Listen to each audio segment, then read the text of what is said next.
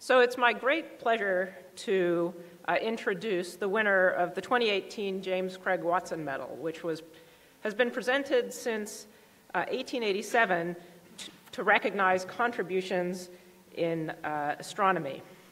So this year's medal is awarded to Ewine Fleur van Dishoeck of Leiden University and the Max Planck, Max Planck Institute for Extraterrestrial Physics.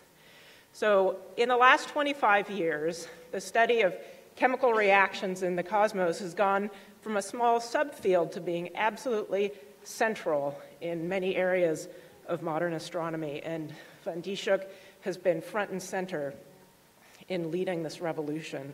So, the uh, medal is awarded for her many important contributions to the field of molecular astrophysics and astrochemistry, bringing together theoretical chemistry, laboratory studies, and astronomical observations with many instruments. Ewine van Dishoeck has advanced our knowledge of interstellar processes and of the physical conditions in star forming regions and protoplanetary disks.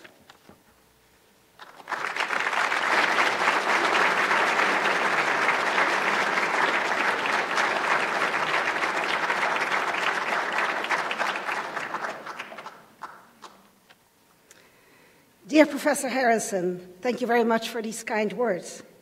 Dear other awardees here on the front rows, congratulations to you as well. I am extremely grateful to the National Academy and to the James Craig Watson Trust for this enormous honor, not just to myself, but especially to the many talented PhD students and postdocs that I have had the pleasure to work with. A special salute also to the instrument builders, with whom we would not have had these increasingly powerful telescopes to zoom in on the birthplaces of new stars, planets, and even the building blocks of those comets and asteroids that Watson studied more than a century ago. Astronomy is a wonderful topic to interest young people in sciences. To help use astronomy for capacity building, I've donated the personal part of my Watson Award to the IAU, which has as one of its main goals also development.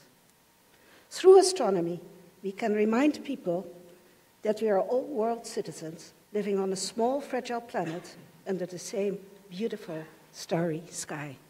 Thank you again for this honor.